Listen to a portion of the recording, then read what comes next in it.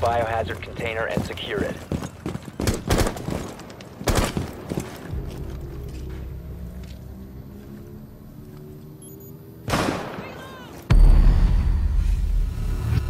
Resume securing the container once the threat is neutralized.